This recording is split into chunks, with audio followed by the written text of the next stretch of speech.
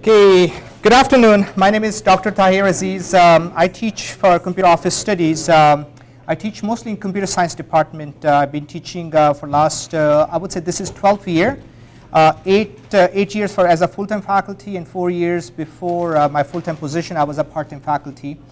Um, I teach mostly programming languages, but like Mary has mentioned that um, uh, I'm a practicing Muslim and I would like to share some of the information I have with you. Um, uh, some of the um, uh, specific areas. Uh, we were hoping that uh, this would set up uh, much quicker. Can we go to LBCC? Oh yeah, go ahead, double back that. Yeah. We apologize that we are a few minutes behind, but hopefully next few seconds we'll have everything up and running. We can hit F5.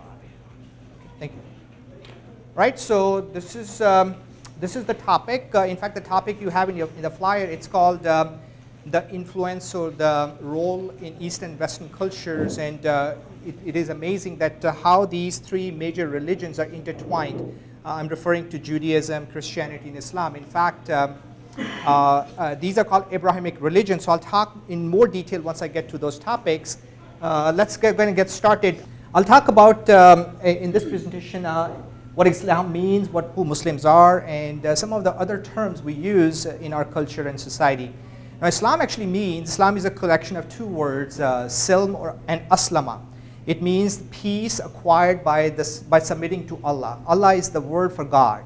Allah basically means, al means the, al means the, lah means, and Jewish and Christian people used uh, even before Islam as well. Jewish, in fact, uh, many of the reports, hallelujah, is actually used to be Alleluia, the word from Allah, and that's the word used by Jew Jewish people and Christian people as well. It's the same word used in many other uh, religions, uh, slightly in different uh, style as well.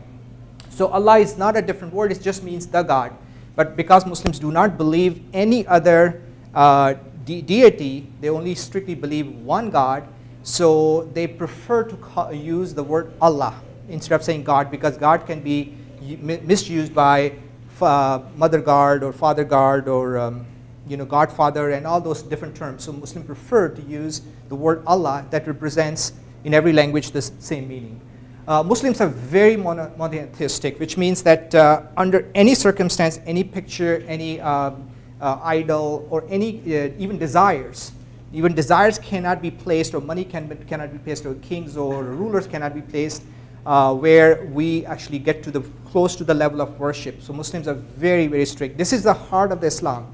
In Islam, the most important thing is one God. And in fact, um, one God is the most important concept. Muslims also believe that it's the same message sent from Adam to Muhammad. It's the same exact message sent by God to every single prophet. And you'll see some of the prophets uh, mentioned in the Quran as well. So Muhammad was, uh, peace be upon him. We don't say Muhammad or we don't say Jesus. In fact, it's a sin in Islam just to say Jesus. We say peace be upon him. Abraham, peace be upon him, because we um, give the highest respect to these prophets. In fact, in many Muslim countries, it's a crime to malign Jesus or uh, Abraham or Moses or say, make videos of, about them. It's a major, major, uh, could be a major crime in those countries as well. So this is, uh, this is the meaning of um, uh, the basics. These are some of the prophets in Islam we call them Muslim prophets. We don't call them because we know that um, we believe in Quran that uh, the, the, the teachings were exactly identical. Allah is not going to change teachings from prophet to prophet.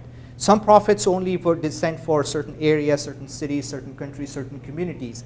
But the teachings were identical. Teachings were exactly the same. They worship one God and one God alone. And some of the other teachings. In fact, if you, in fact, if you look at the Ten Commandments, the first commandment is exactly what, what I'm referring to. So all the teachings were always identical. Uh, some of these uh, prophets, in fact, many of these prophets, um, they, they have surahs named after them. Surahs are the chapters in Quran. There are 114 chapters in Quran, more than 6,000 verses. And in fact, uh, there's a, a, chapter called Mary. There's a chapter called Joseph. There's a chapter called uh, Jonah. There's several ch chapters called Abraham. So you can read the stories, and many of these stories are identical to Judeo-Christian uh, stories as well. In fact, uh, there are more commonalities than differences. In fact, the, the, the, the commonalities between Islam and Christian, I would say close to 90% things are common. The major differences, there are one or two major differences. The original sin, Muslim don't believe original sin is a sin. Uh, the women are responsible for kicking out the humans. We don't believe that. We, we believe that Adam and Eve both were responsible for committing that sin. Um, we don't believe God has uh, children or parents. We don't believe that. If you exclude those differences, then Muslims and Christians are probably like two fingers. They're so close to each other. And same thing with uh, Judaism as well. Uh, now, there are five pillars to Islam. Uh, Shahada actually was writing down over there. The testimony, the five prayers, the charity.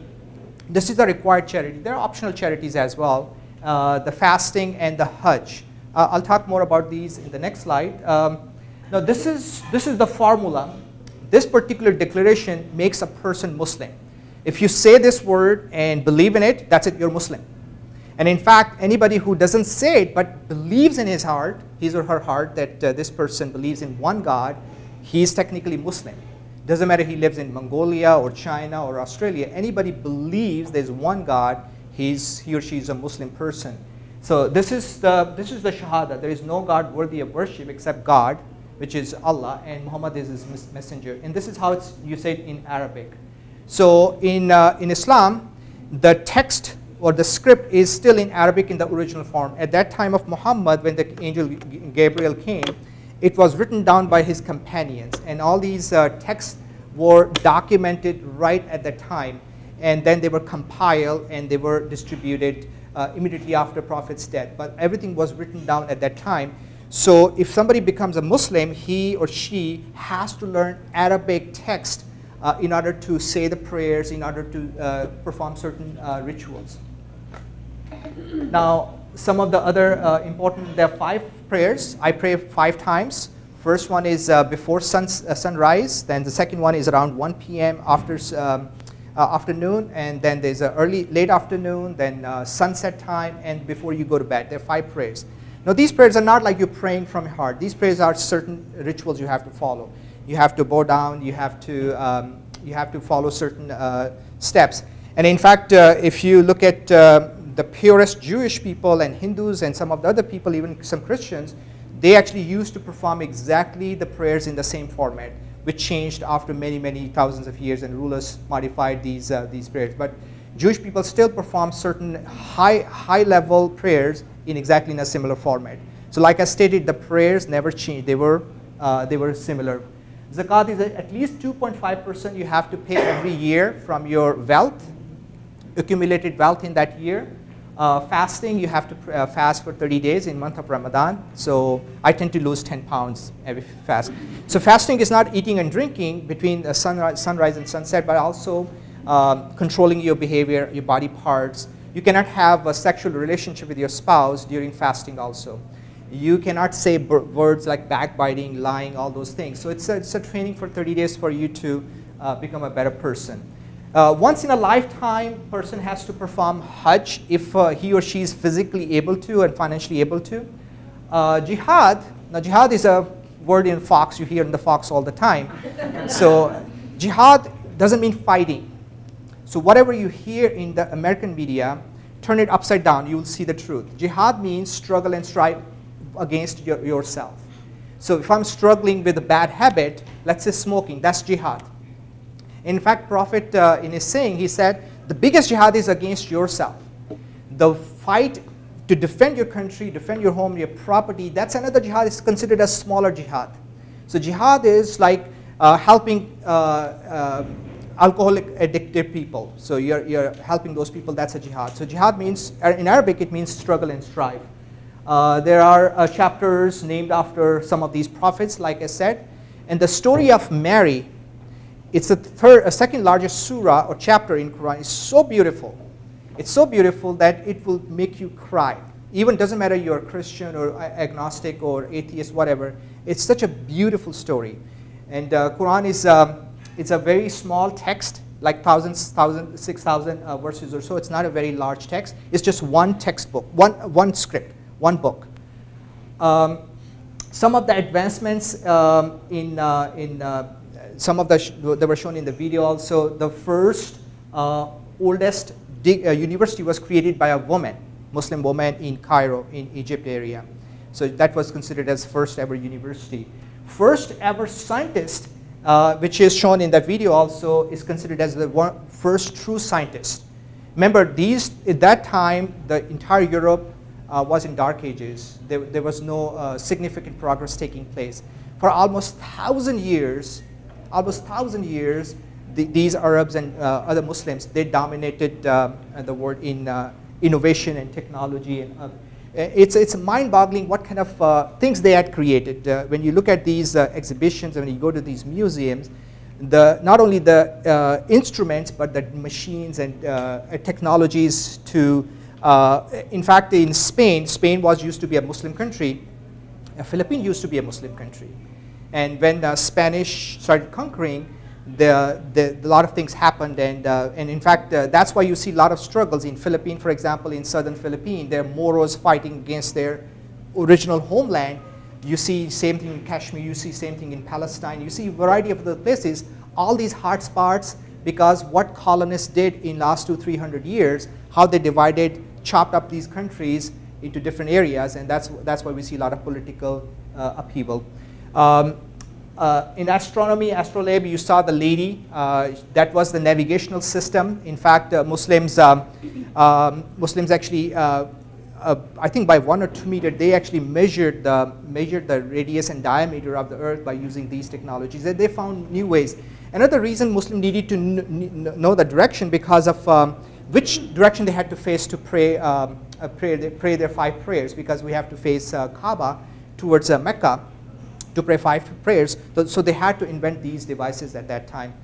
Uh, some of the other things, they actually used to perform surgeries for eyes and ears and throat, and all these surgeries were performed. Some of these surgeries are still performed exactly in identical. In fact, many of the books which were written, um, they are in their like 35th edition or other edition, they are still used in many of the universities uh, with the same information.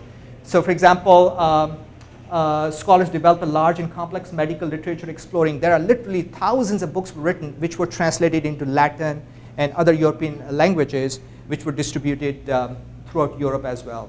And that actually gave the golden age uh, renaissance in the Europe European area. By the, by, by the way, what happened to the Muslims? Why they didn't continue to progress further?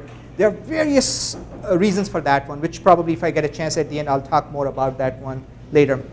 Uh, algebra was developed by Muslims. The number system we use in math, they are developed by Muslims. Uh, some of the uh, some of the trigonometric uh, uh, trigonometry was uh, developed by Muslims, and so many other types of knowledges were developed at that time. this is the first first real healthcare system. This was developed around the 10th century, and it's still still you can still visit it. Uh, this was uh, pre-healthcare for 24 hours. This is in 10th century. And in fact, uh, nobody was turned back, turned away, and it was free healthcare. In fact, they made a law in 10th century to make it, um, uh, it was forbidden, hospitals forbidden to turn away patients. This is like your pure healthcare, Obamacare, we call it Obamacare. So we're unable to pay. Eventually, charitable foundations called WAQFs. WAQFs are like um, uh, you know, you have uh, pledges and you have these uh, endowments. These are endowments were created at that time to continue to support these organizations. Uh, and many of, and this included a school, a um, complex of hospitals, and uh, uh, hundreds of surgeons were available 24 hours in these ho hospitals in 10th century. Um, some of the other experts, um, they, they performed operations and surgeries. very complex surgeries were performed. They used um, uh, uh, they, they used to make you sleep. So they had the, the medicine at that time, uh, sedative medicines and those kind of other medicines, um, narcotics to ensure that, by the way, alcohol, alcohol is an Arabic word. Alcohol was invented by Arabs at, at, at the same time for the same purpose, to perform surgeries. So in fact, uh, if I show you the list of thousands of words we use in English, you'll be amazed. In fact, you're sitting on a sofa, that's an Arabic word. So you eat candy, that's an Arabic word. So these are the words that keep taken exactly from Arab, Arabic to English language. So you can see the huge influence. So is that uh, alcohol was um, uh, used in 800, uh, year 800, uh, and it means uh, came from the word alcohol. Uh, Ibn Sina, one of the greatest uh, scientist and scholar. He's, you can find hundreds of books written by Ibn Sina and uh, in philosophy. And the, these people, they translated everything the Greek had to offer, all the Latin work, and then they explored and they continued to build their understanding of the previous knowledges. Uh, he was an outstanding doctor as well. Um, his book um, in 12th century, uh, by 16th century, it was in the 35th edition. And many of the countries still use the practices uh, developed by, developed by um, Ibn Sina. Now, some of the things, uh, there are thousands of uh, most advanced uh, discoveries in modern physics, chemistry, and mathematics are literally, explicitly in, written in Quran uh, Big Bang Theory, uh, the universal is expanding, uh, all these theories, the, the salty water does not mix up with the other water, the fresh water, all these, all these are verses in Quran, literally. Uh, I've read Quran in many times in English and Urdu and many other languages. I can tell you these were literally written there. Um, separation of these pulsars, the most complex topic. There's knocking stars, the knocking stars. In fact, uh, I can take you a, uh, a, site where you can hear these knocking stars, the pulsars.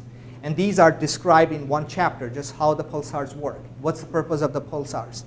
So it's amazing that the, these, and remember Muhammad, Prophet Muhammad, peace be upon him, he was not educated. He couldn't read and write. He could not have discovered the birth, uh, uh, the embryo, uh, embryo cycle. And the cycles are described in so detail it's mind-boggling. In fact, many of the scientists, they, they say that this cannot be written by a person who couldn't perform, couldn't read. And some of the people, they say, well, what Muhammad did, he took the Christian and uh, Judaism knowledge and he translated. First of all, he was uneducated. Secondly, the Bible was not translated to Arabic 500 years after his death. Bible was still in the original text. It was still in Greek uh, text. So it was not even available in Arabic text, and it was concentrated only to limited people within the church community. Uh, secondly, uh, thirdly, uh, the knowledges discussed here are not available in Bible or Torah, so it could, could not have been done by, uh, by a human person. Shape of the earth is clearly defined. It looks like um, uh, uh, egg of ostrich. You know, ostrich egg is um, not round, it's slightly spherical and it's uh, that's the, that's the word is used that this is the shape of the earth and and remember christians were fighting this earth is flat and in fact uh, um, uh, scientists like uh, uh, who was um, who was uh, put in jail because he, he, yeah he said the the sun doesn't revolve around the earth and it's amazing that the quran describes how they travel in the spheres and how each one of those are ordered to travel in these spheres in these orbits so all these planets, they are, they are told what to do by God. And these are the verses uh, there. Some of the things about art and architecture, I want to leave more time for questions as I'm rushing through. So uh, Muslims, they cannot uh, depict any images of any animals, any humans.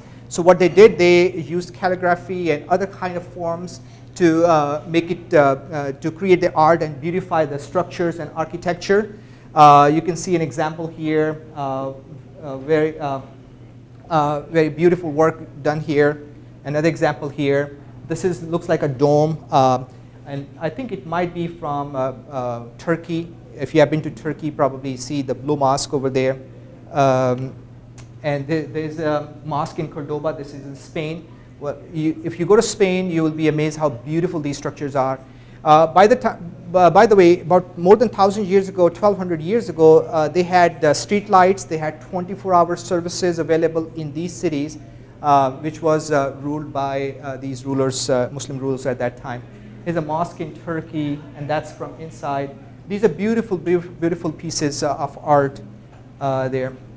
Some of the words commonly used in English language came from, straight from, from Arabic, chemistry, alcohol, algebra, uh, average, soda, safari, zero, racket, mattress. So you can't even sleep if you don't know Arabic. So, so guitar, cotton, coffee. In fact, uh, uh, many of the Muslim scholars, they wanted to spend more time to uh, study and educate themselves.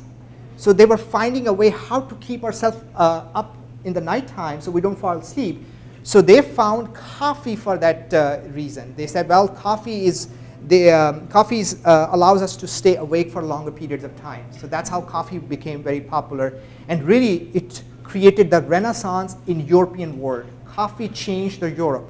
That's one particular ingredient changed the Europe because people started uh, socializing, people started exchanging ideas in European um, uh, uh, areas. Some of the other words, like as mentioned, uh, candy, check, talcum, tariff, and so on and so forth. I'm going to stop. I can go on and on for hours, but I'm going to stop because I want to leave for the next 15, 20 minutes for questions. So if anybody has any question or concern, uh, any questions? Yes, sir. Uh, the owl in algebra and alcohol, is that the same as Allah or is that unrelated? Uh, algebra we use in math? Right, algebra, the, the root word, the, the al, A-L. Yeah. Is that the, the, the word is jabr. Jabr is a hard work in the Arabic. Al, the hard work. So when they were working in math, they from al jabr they took algebra. So that's so, how the word. So the al is just like the. The. The, that's right. Uh, you hear very frequently whenever you hear. By the way, uh, a lot of people think, especially uh, we have a, a, concept here that uh, somehow, uh, I think day before yesterday, the first time Miss India, uh, the girl from India, she became Miss America. And people are very upset. How come Miss Arabia became Miss America? A lot of people are confused. They don't even differentiate. Most of the Arabs in California are Christian Arabs they're Coptics from Egypt or Syria or other places. They are not even Muslims. Most of the people you see with turbans, they are not even Muslim, they are Sikhs. Or they could be from other parts of, uh, um, uh, from Africa. So what I'm trying to say is the Arabs are very small minority of Muslims. Arabs are very, very small minority. Arabs are less than 18% of the entire Muslim population. If you look at uh, Indonesia, Indonesia is the biggest Muslim country in the world. If you look at uh, India, Pakistan, Bangladesh, there are half a billion people just on those three countries. So Arabs are considered as a very small, and there are 22 Arab countries, 22 plus. If we divide Syria into two pieces, we'll see probably more. But you, you can see that uh, there are so many different types of uh, Arabs as well. And they, are, they, are, they have different practices and different uh, traditions as well. Yes? Could you describe the Hajj? What, sure. what happens at the Hajj? Yeah, I was uh, I went to Mecca in June, first time in my life. So typically, four to five million people go during Hajj time. It will be in the second week of October this year, because we follow the moon, so it changes by 10 days every year. So once in a lifetime, and by the way, every single uh, step we take in Hajj, that's exactly Prophet Abraham did. Prophet Abraham, uh, his wife um, Hajra, we call it Hagar, and Ishmael, his oldest son, there's a, there's a Jewish uh, conflict that no, Ishmael was the younger son, we believe he's a uh, older son.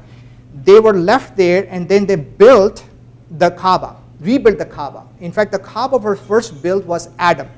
And we have historical documents and prove that. And by the way, when Abraham and Ishmael, they were building the Kaaba, we also have the, their footmarks I saw those stones, those stones are preserved. Their footmarks are already there. You can see the Abraham, uh, uh, peace be upon him, his footmark right there. He was standing and building the Kaaba. No, we don't worship Kaaba. We don't. A lot of people think that God actually created a central location so we can concentrate around that location so we can worship one God. We only worship, I can stand here, I can worship. I can stand on the street and I can worship. But uh, that Hajj is every single thing Ishmael did, uh, Hajra, uh, uh, peace be upon her, she did, and Ibrahim, uh, peace be upon him, he did. We follow their steps. When we circle seven times, that's what, that's what he did when he built it. When uh, they went from one place to another, we follow the same thing. Similarly, we also slaughter an animal at the end of Hajj because he was ordered to slaughter his son. He dreamed three times and he, we follow exactly the same tradition and the son was replaced by. So there are it's, a, it's, a, it's an event which lasts for three to four, five days, typically five days or so. When, when I went to June, so June was not the real Hajj. It was it's called Umrah. Umrah is like you visit and follow same pathways, but you're still obligated to perform Hajj during the specific specific time.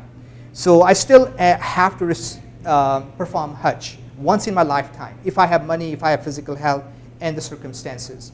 Um, and uh, in a year or so, um, about close to, I would say, uh, 70, 80 million people go for Umrah or Hajj in, uh, in one year. So you can understand in 10 years period, several hundred million people uh, visit Makkah for that purpose. And now um, the, the Makkah is the place where Kaaba is, but Prophet passed away in Medina, about 250 kilometers or so away from Mecca. So these are the two cities we visit when we perform Hajj. Yeah. What's the process if somebody wants to convert to Islam? Yeah. So um, other than some of the restrictions, the restrictions in Islam are like you can count on your fingers.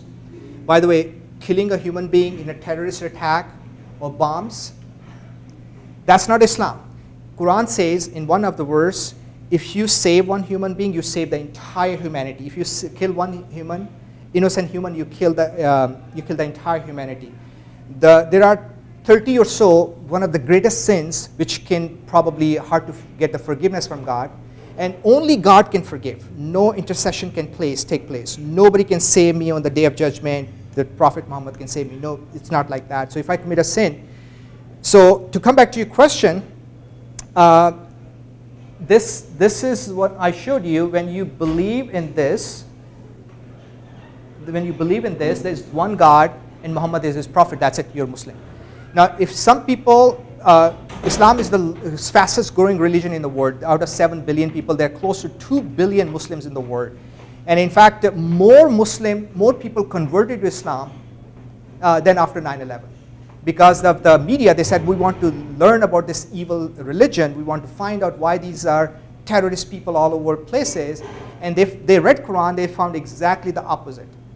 So uh, according to CIA, they said there are about 10,000 terrorists in the world. 10,000 terrorists in Afghanistan area and uh, uh, some of the other bordering areas in Iraq area. Now, if you take 10,000, divide by 2 billion, you can figure it out what the percentage of these terrorists are.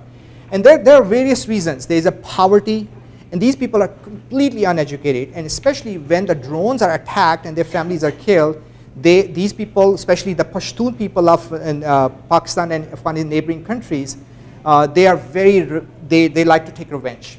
So they will do anything to show that you killed my family, I'm going to do everything humanly possible. So there are various reasons for these terrorist attacks. And these terrorist attacks, um, unfortunately, more Muslims were killed in terrorist attacks than non-Muslims. In Pakistan alone, more uh, 40 to 50,000 people have killed in last uh, uh, after 9/11 than in the U.S. U.S. probably you can count them in uh, less than less than 100 people were killed in terrorist attacks. So Muslims are more uh, harmed by these terrorist attacks. To come back to your question once again, so once you do this, then you have to uh, pray five times. You have to pay, pay charity. Uh, charity could be paid to your relatives, to your, um, uh, to your uh, friends, family members. Uh, you also have to stop alcohol. Alcohol is considered as biggest sin in Islam, uh, considered as the mother of all evils because all bad things can happen. In fact, there's, a, there's an example about that one that uh, one person was given four choices. Drink alcohol, murder somebody, kill yourself, and eat pork. He was a Muslim and the, he said, oh, the smallest one is the alcohol. I'll take the smaller evil. He drank alcohol. He was made to do all those other things. So you can see the alcohol, when you are dizzy, you will do anything. So similarly, eating pork, in Christianity and Judaism, it's forbidden. Unfortunately, people don't follow Bible. If you read Bible and Torah, it's considered as one of the major sins on those religions. Even in Hinduism, in Hinduism, also in Buddhism, if you read their text, I can show you the references that uh, it's considered at. So by, by making sure that you are following certain things, why women have to wear hijab? Because in Islam, men and women both have to have uh, modesty. Modesty of your, uh, uh, uh, how you look, modesty about your eyes, modesty about your thinking. So if I'm um, making bad plans against John here, I'm not modest. I'm not allowed to make uh, plans which can harm him in any way possible, financially or otherwise if I'm looking, looking at her in a certain way, which I'm not supposed to, uh, because in Islam, all, every human being is a brother and sister. This is the basic teaching in Islam. In fact, uh, uh, you know Dr. Oz? Dr. Oz is a Turkish Muslim. So his, um, his uh, producer is a Jewish uh, person from uh, Russia. So they took a DNA from both of them, Dr. Oz DNA and uh, his producer DNA, and they found out they're cousins. and Muslims are the closest things to Jewish and Christian uh, people. The closest thing to Christianity, now you will say, well, it's Judaism. It's actually Jewish people don't even believe that Christian exists.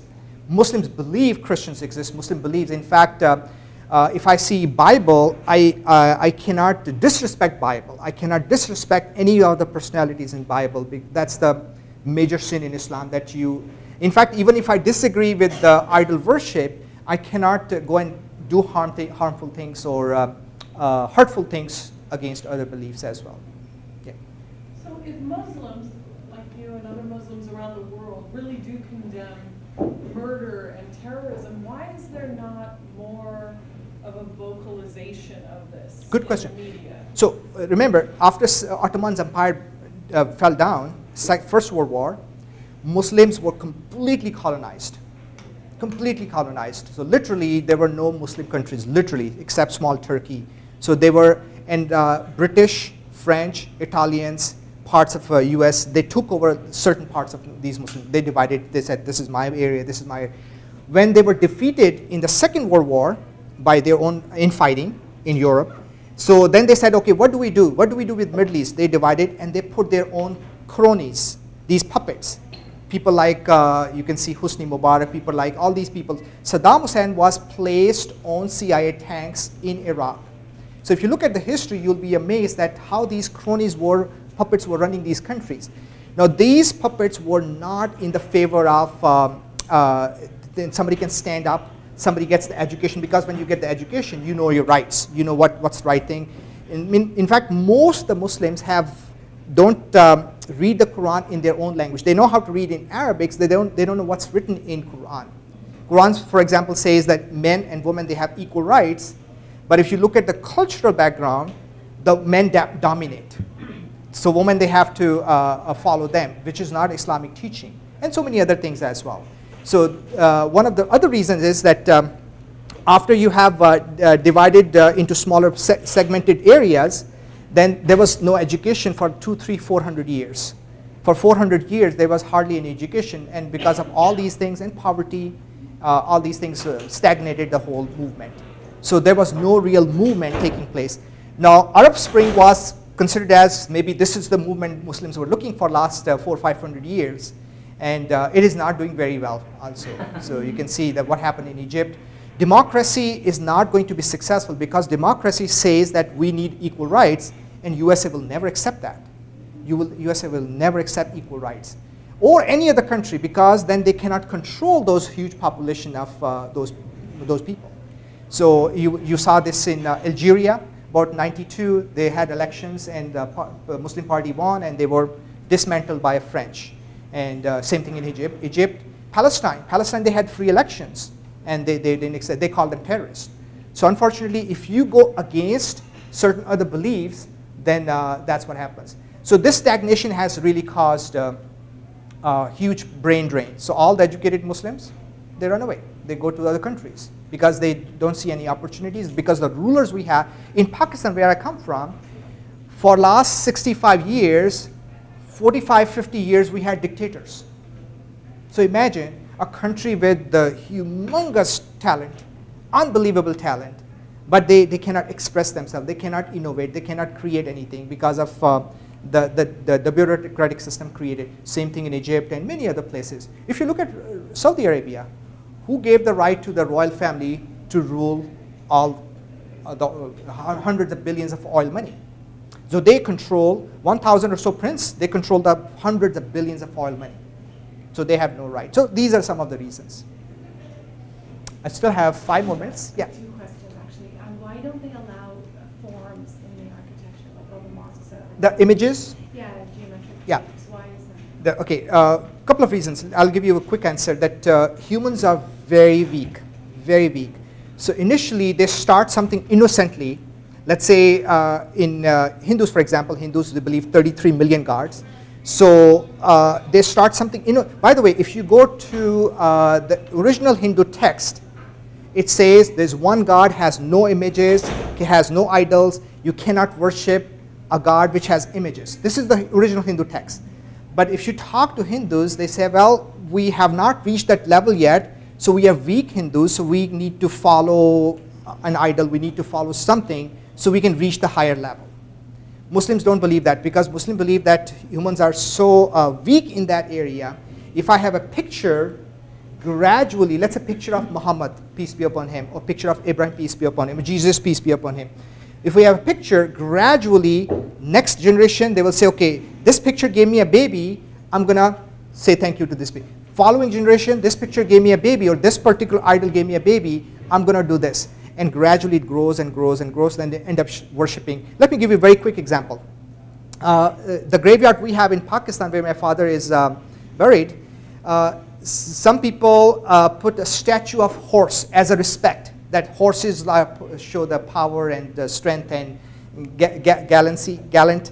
And uh, after I went the few years after that to the graveyard, I found out people started putting their uh, offerings to the horses, to the statue of the horse. This, these are Muslim people. These are not even idol worshippers. So humans are so weak. So Islam cuts down even for example, adultery, adultery is considered as one of the greatest sins in Islam, and fornication is greatest sin. So Islam doesn't say don't commit for, for adultery. Islam says don't even go close to it, which means holding hands, kissing, being, being alone with a girl or a guy. So you cannot do that uh, if you're an opposite sex, uh, if you're not married to that person. So it cuts down the roots of it. That's a quick answer to that. Yeah, yeah. What's the book of Sharia? Right. So the Quran is the source of all the knowledge, and then uh, Sunnah or Hadith is the whatever Prophet did. It was documented by his companions. He he went to the bathroom this way. He said the greetings to this way. He made this decision at that time. So it was written down. So it was uh, it is a collection of uh, uh books. Uh, the, especially the most famous one is called Bukhari. Bukhari is the collection of uh, his sayings and his actions. Then there's a, there's a, a Muslim, there's another collection of hadiths. Uh, so from those two sources, they create laws of Islam. Laws of Islam means uh, what do you do if somebody drinks alcohol? What do you do if somebody rapes someone? What do you do if uh, there's a uh, murder by accident? So all these laws were derived from those two sources.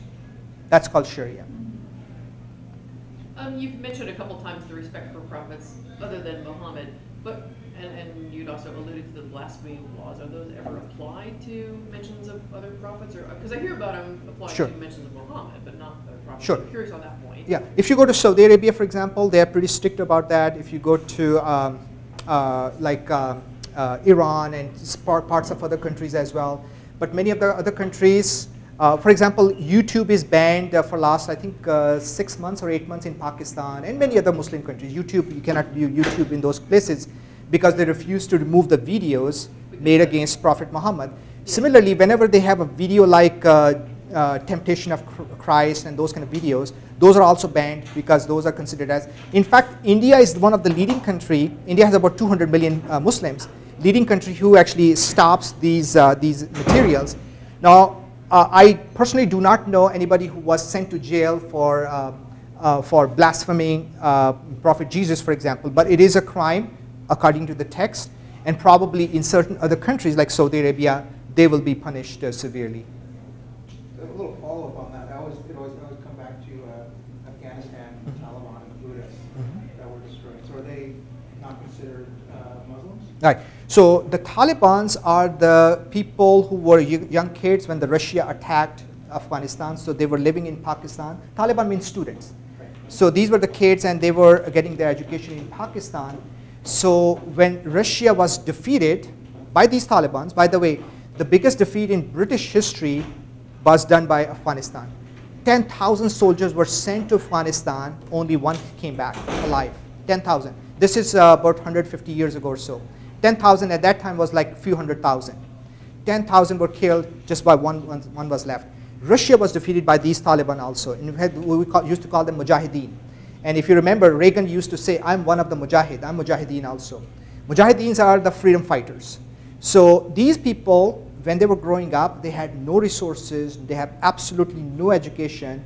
So when um, certain other forces, uh, like, like there was a civil war immediately after Russia left, there was a civil war in Afghanistan, and then 9-11 happened. So these people who were like in uh, teenagers and early 20s or so, and the, imagine these are very poor, uneducated people, so they actually were programmed or they were used by some of the other people. They had uh, other, um, other uh, uh, kind of plans.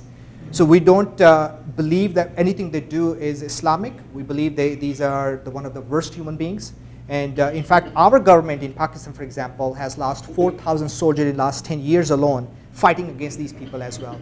So once you actually create a monster, Frankenstein, you create a Frankenstein, you leave that Frankenstein, the genie is out, what do you do in that case? So the, these are the case for these individuals. Okay, almost time is up. Any, if you have any questions, I'll be more than happy to talk to you.